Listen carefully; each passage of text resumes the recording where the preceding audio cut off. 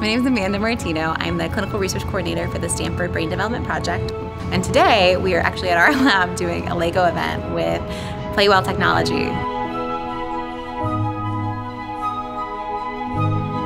So we're breaking two Guinness Book World Records. One is the world's largest human spinal cord made out of Lego, and the second is the world's most human spinal cords created out of Lego.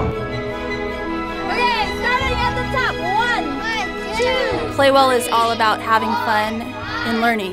So partnering with Stanford is a huge opportunity to do science and technology, math, engineering uh, in ways that maybe we're not taught in school.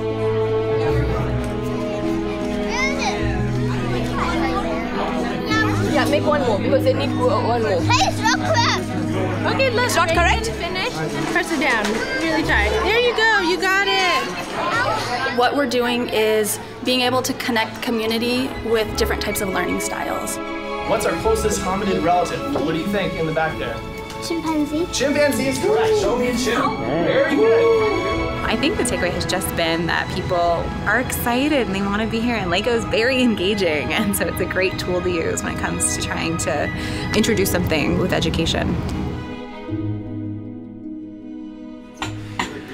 Well, welcome to the show. My name is Dr. Brain in your laboratory. That's where I've been playing. Most people see a scientist and think what a geek, but they're just thinking that because they never met me. I Today, with all the families that we had out here, we made 86 anatomically correct spinal cords and we used 58,000 Lego bricks. Hold there. You ready? Nine foot two inches.